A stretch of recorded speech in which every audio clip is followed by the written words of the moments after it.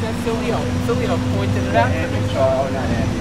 Isn't that amazing? It's like fading peace. Yeah. Right? Well, it, it's, uh, well done. Fading But it's, piece, yeah. apparently that's from years ago. That's not from the recent thing. The recent thing was in white.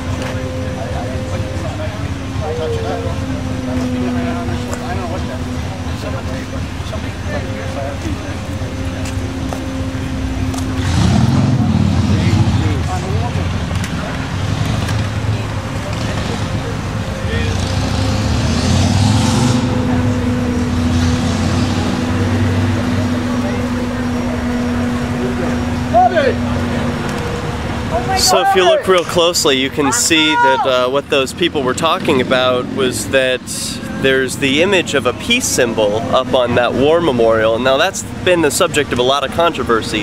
There's a man aged 30 who was just thrown into that fountain for the crime of having chalked that memorial with such a peace sign. Now that peace sign that you see there is not the peace sign that he drew. In fact, it's one that's many ages older. But it's interesting, first of all, that the memorial retains a piece of artwork that could be called appropriately fading peace.